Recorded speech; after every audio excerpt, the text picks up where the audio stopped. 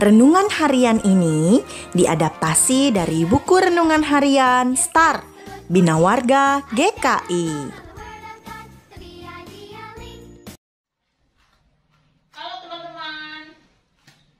Kisah kebangkitan Tuhan Yesus ditulis oleh rasul-rasul dalam Injil baik di Matius, Markus, Lukas, dan Yohanes. Yesus bangkit pada hari yang ketiga setelah kematiannya. Itulah yang kita rayakan sebagai Hari Paskah. Nah, kebangkitan Tuhan Yesus memang setiap tahun kita rayakan. Namun, apakah setiap Paskah kita memperingati kebangkitan Tuhan Yesus tanpa makna dalam hidup kita?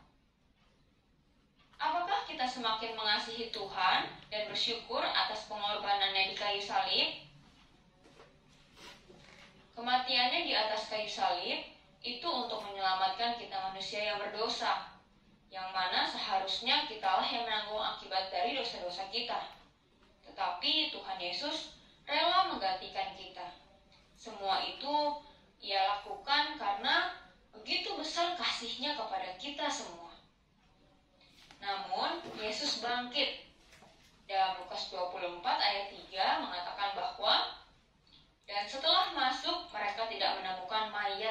Yesus.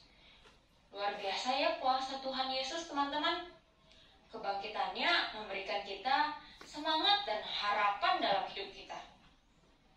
Mari teman-teman, dengan sukacita kita senantiasa mengucap syukur kepadanya karena kebangkitan Tuhan Yesus telah mengubah hidup kita menjadi hidup yang baru.